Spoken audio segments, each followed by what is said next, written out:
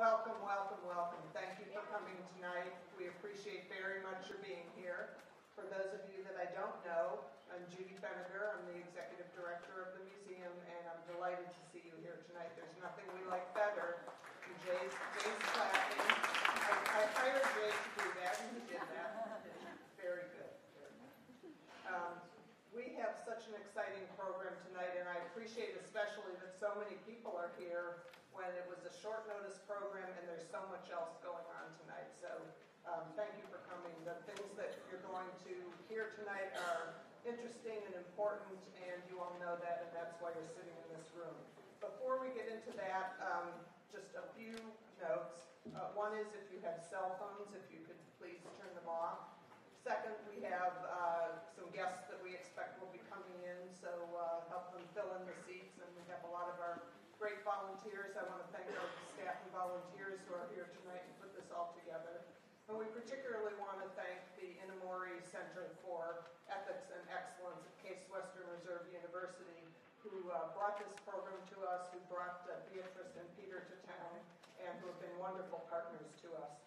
There is so much happening at the museum here. If I told you about it, you would just see me on the podium, and you don't want to see me on the podium because there's too much else. But I do want to tell you a few things. Our fall program season has uh, just begun, and there are calendars out in the lobby you can pick up on your way out. Um, many people have said to me, what's this art up on the walls? And we're doing something we've never done before, and um, we'll see if we ever do it again. But we have a half-hung show here. We've never had people into the gallery when the show isn't all up, so you'll see uh, there are some pictures with and without labels. When you come back here, and I hope you all will come back here starting next week, you'll see uh, displays of artifacts uh, throughout the floor here. The chairs will be gone, it'll be a whole different thing. And we want to especially thank uh, Kathy Halter and Marcia Wexberg is with us tonight who uh, sponsoring this exhibition. It's called Hardship to Hope, also Marilyn Kagan. It's an exhibition of African American art from the 30s and 40s from the Karamu Workshop.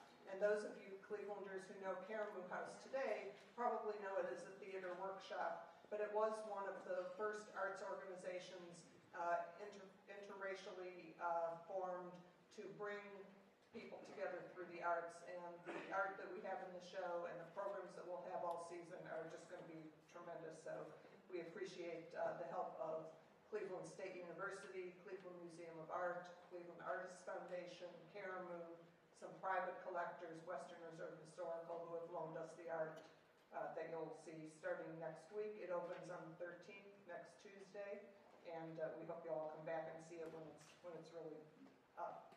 The fall also is the kickoff of our Stop the Hate Youth Speak Out, our signature program, which invites students in grades 6 to 12 from a seven county area to submit essays on hate, prejudice, discrimination that they have experienced or seen and what they would do about it. We're now entering the fourth year, uh, and in the first three years we've had more than 5,000 essays so it's good news and bad news. The bad news is that there are 5,000 kids out there who had stories to tell. The good news is that through the contest they're telling these stories. There are tens of thousands of people that have been touched through their schools and their families and the community, and they're talking about solutions. And as the Museum of Diversity and Tolerance, we feel like our core mission is to get the conversation going with programs like uh, Hardship to Hope, with programs like Stop the Hate and like programs that you'll see tonight. Um, we have uh, uh, the anniversary of 9-11 coming up on Sunday, and in addition to a short commemorative service that will be here at the museum, we're participating with the Cleveland Orchestra and the police and fire, lots of other folks down on Public Square in a commemoration event where seven of the students who have been finalists in the Stop the Hate concert in the first, or, uh, Stop the Hate contest in the first three years will read their essays. So there'll be actually about a half an hour of the program that begins at 2.30 and there are some other uh, poetry and some other things and then the orchestra concert for free on Public Square at 5 o'clock. So uh, we hope maybe some of you will come down there.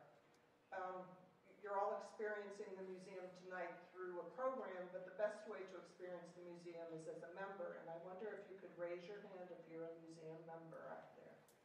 Lots of you, yay, thank you.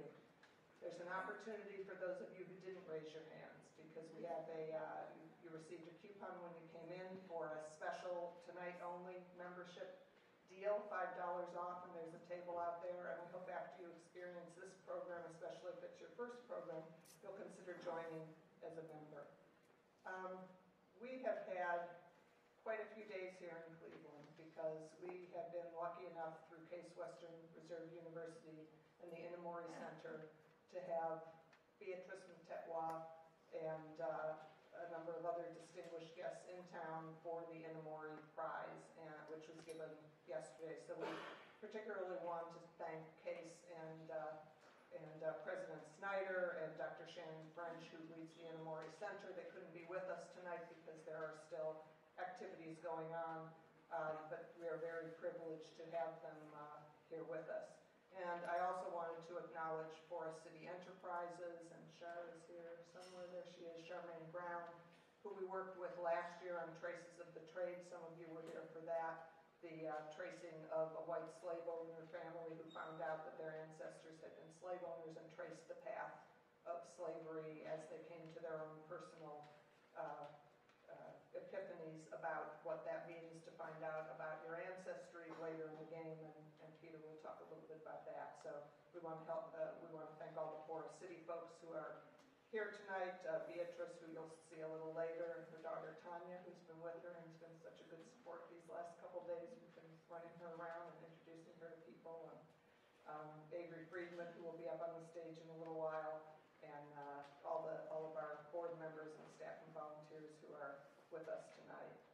At yesterday's uh, prize festivities, there was a fascinating academic symposium in the afternoon in a packed room, uh, even more packed than this room, um, where a panel talked about uh, what's going on in Zimbabwe today. And Peter Godwin, who uh, you'll hear from in a moment, was one of those panelists. Uh, he's an award-winning foreign correspondent author, documentary filmmaker, and screenwriter who was born and raised in Zimbabwe, studied law at Cambridge, international relations at Oxford, and after practicing human rights law in Zimbabwe, became a foreign correspondent co- covering wars in more than 60 countries.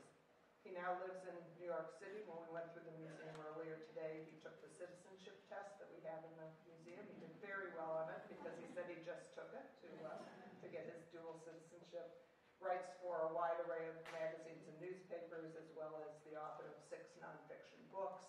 And we do have uh, When a Crocodile Eats the Sun, a memoir of Africa, and has recently in our bookstore, and they're available for you, uh, and he'll sign them after the program tonight.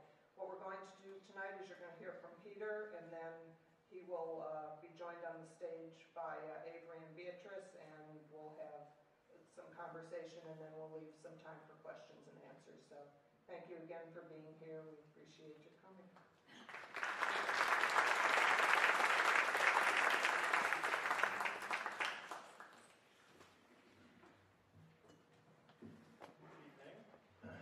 Good evening. Can you hear me? Is that satisfactory? Thank you for coming, especially given that um, you are forsaking your president's address, and I believe the opening game of the NFL. Is that right? So hopefully your DVRs are whirring at home, and you won't miss anything in particular. But you get special credit for turning out to see us tonight, given that those are the your your alternatives. Um, thank you.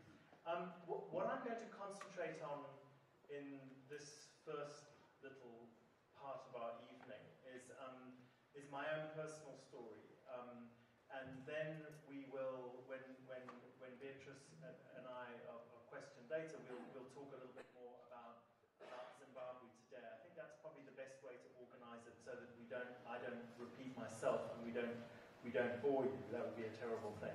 Um,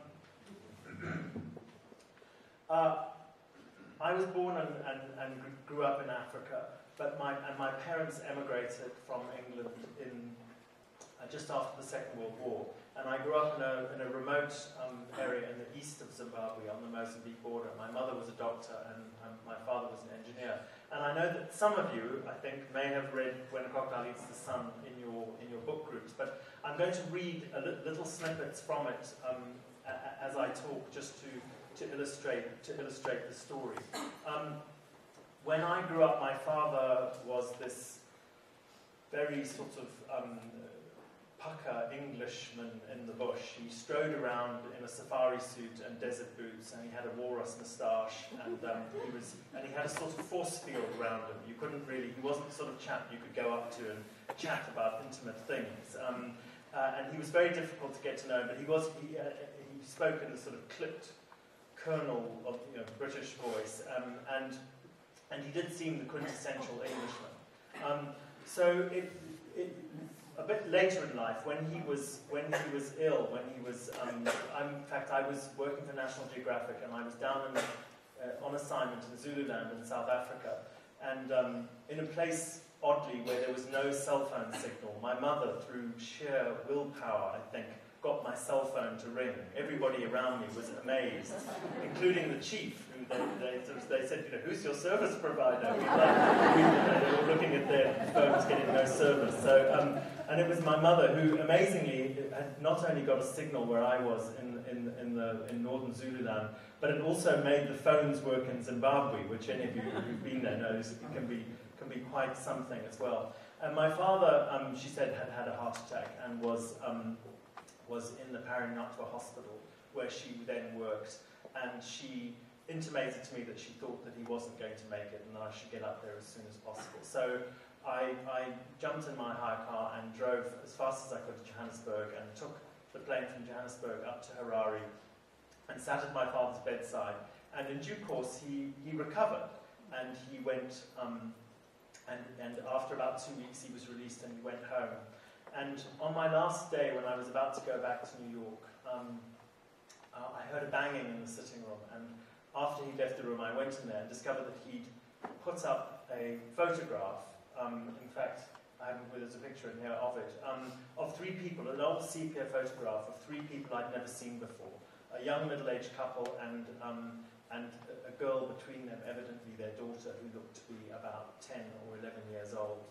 And um, and I asked my mother about it, and she said, well, um, you know, ask, ask your father about it in due course. Um, and, I'll, and I'll read a little bit about what, what happens next, if you will bear with me, if I can find the right, um, the right place. Um, essentially, what my mother told me that day, and left it to my father to tell me in detail, was that far from being this sort of quintessential Brit striding, or this Victorian paterfamilias striding around the bush in Africa, um, my father was actually a Polish Jew, um, and that this was something that she had known about all her life, that they had actually met um, in, in, in London after the war.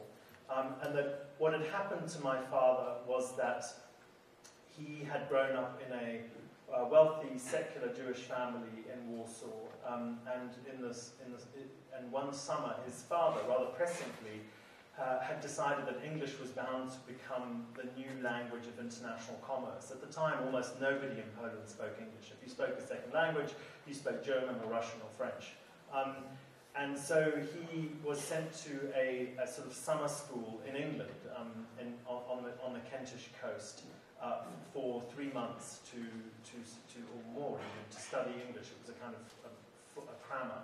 And on the 1st of September, Hitler invaded um, Poland, and my father never got back to, um, to Poland, and his family never got out.